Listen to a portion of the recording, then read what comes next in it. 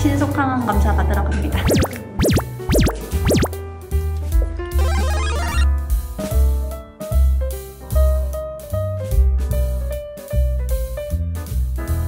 저는 항원 검사랑 항원 검사. 떨립니다. 떨립니다. 상체가 생겼길. 상처 맞으신 지 얼마나 되셨죠? 한 두 달 된 것 같습니다. 저도 일주일 차이였던 것 같아요. 네네. 순혈 화이자?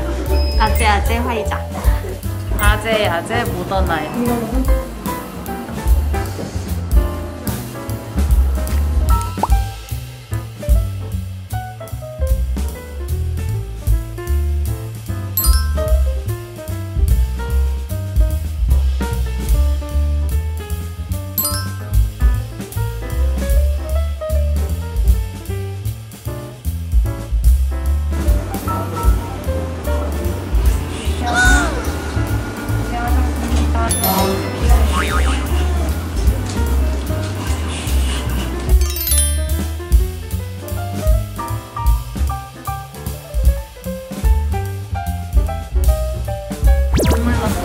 더 오래 했던 것 같아요. 좀 오래 했는데 집에서 자가 진단할 때보다는 훨씬 깊숙이 들어가서 결과 잘 나올 것 같아요. 검사 결과를 믿을 수 있을 것 같아요. 네, 신뢰성이 좋은 것 같아요.